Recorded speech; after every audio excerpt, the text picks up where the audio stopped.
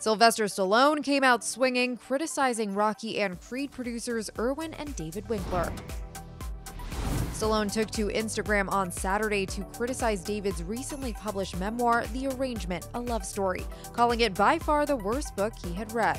Stallone went on to write that the unbearable, worthless Drek was written by the painfully untalented David Winkler, and went on to say, who is the son of the remarkably untalented and parasitical producer of Rocky and Creed, referring to Irwin. The star continued by posting that he respected and loved Irwin's producing partner, Robert Chartoff, who also produced the Rocky franchise and the first Creed before his death in 2015. Stallone added, Frankly, that crew are the worst unhuman beings I've ever met in the movie movie industry. I will forever love the loyal fans and keep punching. Remember, it feels good to clear your heart. The following day, Stallone wrote in a follow up post that he is upset over an ownership dispute related to the franchise, calling this a painful subject because I wanted to leave something of Rocky for my children.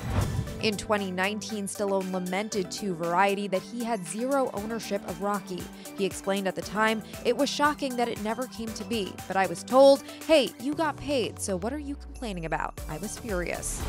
Released in 1976, Rocky won three Oscars, including Best Picture, and Stallone was nominated for Best Actor for his title role, in addition to a screenplay nom.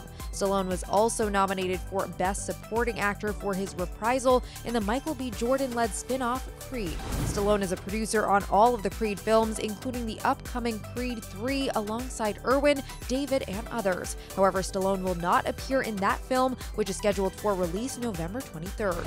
Last month, he told Metro that he had bowed out of appearing in Creed 3 and that the film takes the story in a different direction, but that he wished the film well.